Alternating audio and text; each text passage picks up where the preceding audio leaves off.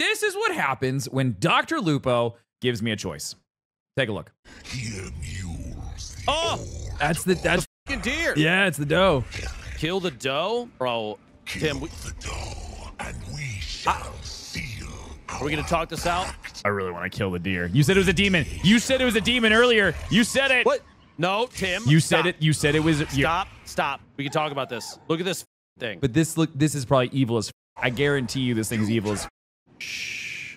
Look at the flowers. Look at. Tim. Look at the flowers. Tim. What? What do you want to do? Oh my God! Bro, what the? F- You said. You said the deer was a I said- demon. I think we just.